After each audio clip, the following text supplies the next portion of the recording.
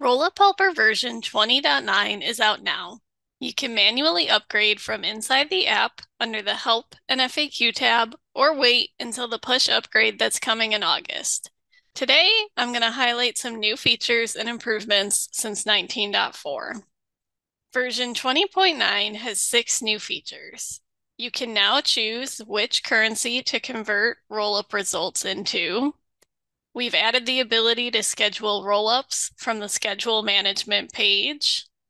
Schedule set to run once a day can now be set to run at a fixed time instead of on a frequency basis.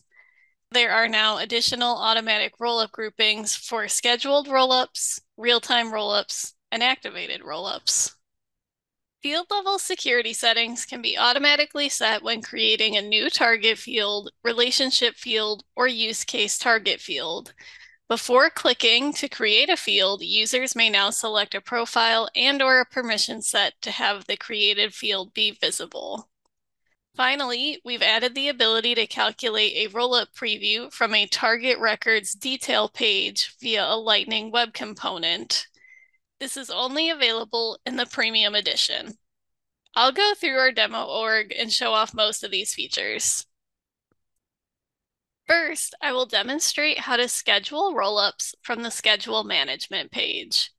From the home page, click Manage Scheduled Rollups. Then click New in the top right corner. Select the rollup setting you want to create a schedule for and then fill out the schedule information, such as how often it runs and if there are any filters. If you choose to schedule daily, you will now see the new fixed time checkbox. By default, rollup schedules run on a frequency basis instead of a fixed time.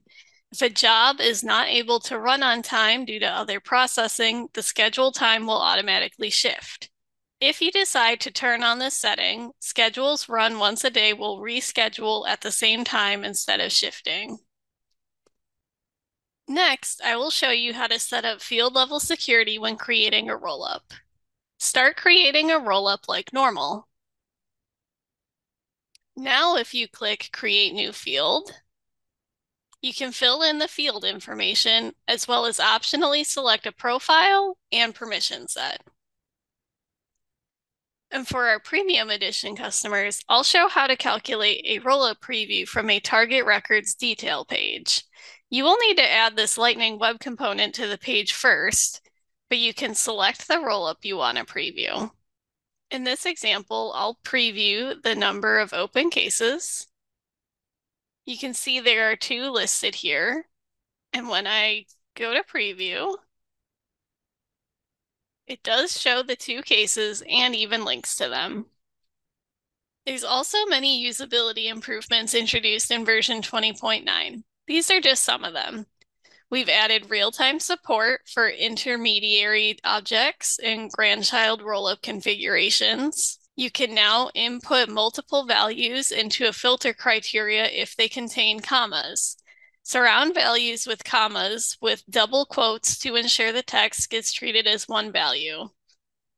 An example would be putting a city and state into quotes, like Chicago, Illinois, or Madison, Wisconsin. There's a new repeat checkbox to the schedule management page. We've also added an action column that allows users to edit or delete a schedule. We've added the custom max min sort field to the source query preview if it is set on the rollup. Improved search functionality of field check usage to allow partial filter field entries. You can now rerun the record scope monitor job for objects that encountered issues. And lastly, we've implemented Lightning Web Components for the following pages or components.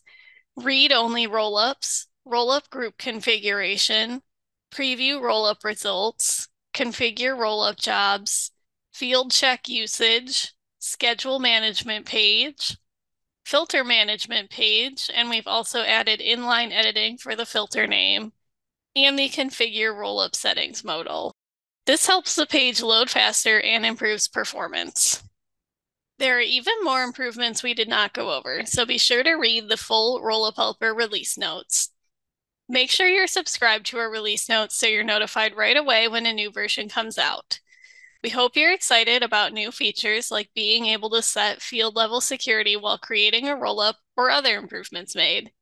If you have any questions, you can always email our support team at support at passagetech.com or sign up for a one-on-one demo. All of these links are provided in the description below. Leave a comment to let us know what you're most excited about or suggestions for new ideas. We love to hear from our users. Happy trailblazing!